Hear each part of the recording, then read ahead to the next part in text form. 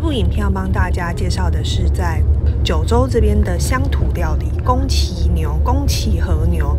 我们要去的是 KK Day 会带我们去一间叫神月之树的乡土料理店，去品尝我们的宫崎牛。神月树呢，它是一个一百三十年历史的茅草屋建筑。那在这边，它其实很多时间点是在做一个神乐表演的场合，其余的时间它就是开放有这个宫崎牛的料理可以品尝。那我们现在跟着 KK Day 一起来神月树。品尝它的宫崎牛乡土料理吧。我们现在要去吃宫崎牛、宫崎和牛，这是在行程里面的午餐，包含在里面的。然后吃完午餐以后，我们要去高千水峡。今天去吃的是神乐素千水家宫崎牛。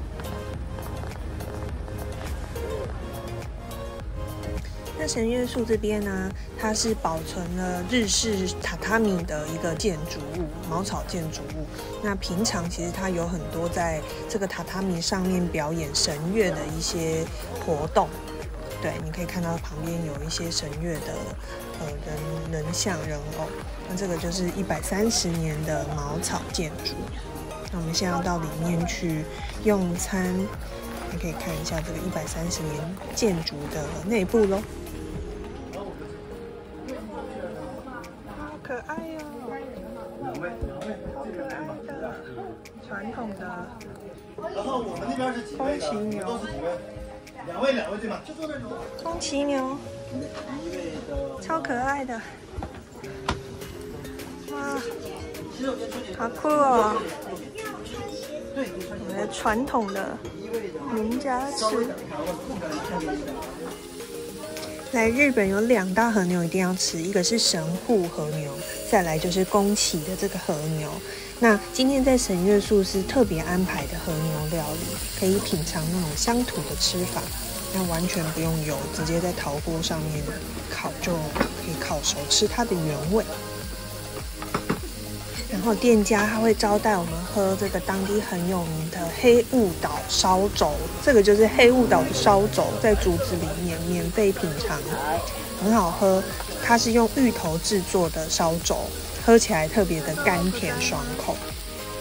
黑雾岛算是南九州这边非常有名的呃品牌烧酒，对品牌烧酒。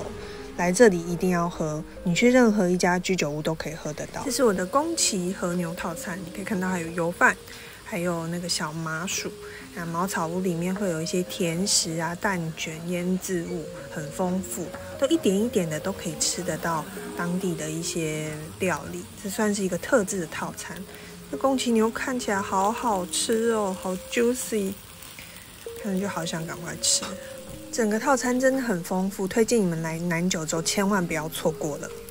那这个神月树的宫崎和牛套餐，算是我跟 KKday 的这个行程里面很意外获得的一个非常优质的餐点。如果有机会跟着 KKday 来南九州的这个行程的话，千万不要错过选这个有宫崎和牛的行程。那推荐你们如果有机会自己自驾来的话，也可以到神月树这边提早提早预定来吃吃看它这个宫崎和牛的套餐喽。